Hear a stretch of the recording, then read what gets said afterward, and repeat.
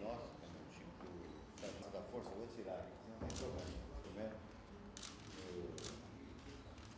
o conjunto das entidades, há oito anos atrás, né, Barbadeiro, Caiu porque componente eletrônico é um déficit que o Brasil o pessoal de brinquedo tinha 56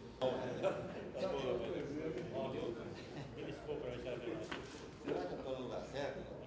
Nesse momento, nós estamos, como brasileiros, acima de tudo, querendo a competitividade do nosso país, querendo que o Brasil gere milhões de empregos todos os anos, para dar oportunidade a milhões de jovens todos os anos. E o melhor emprego é o emprego da indústria manufatureira. É o emprego de melhor salário, melhor ambiente, é onde está a tecnologia, a inovação, o desenvolvimento regional, enfim, interessa ao Brasil. E um evento desse tamanho que nós pretendemos organizar entre as centrais sindicais, o setor empresarial de São Paulo, em defesa da indústria nacional, em defesa do emprego dos trabalhadores aqui no Brasil e não na China.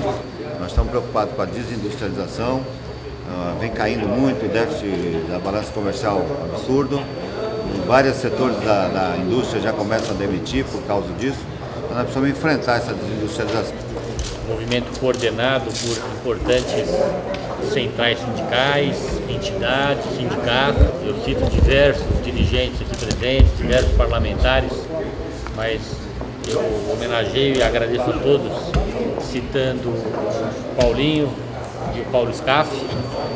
E a Prefeitura de São Paulo atende o pedido dos organizadores dessa manifestação, atende no sentido de dar todas as condições necessários da sua realização para que esse movimento possa ter visibilidade.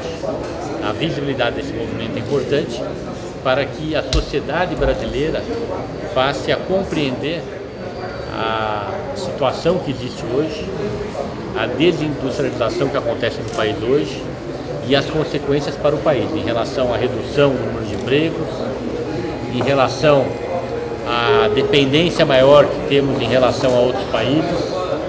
Essa é, portanto, a razão do apoio da Prefeitura e o nosso agradecimento, o nosso reconhecimento àqueles que estão à frente desse movimento.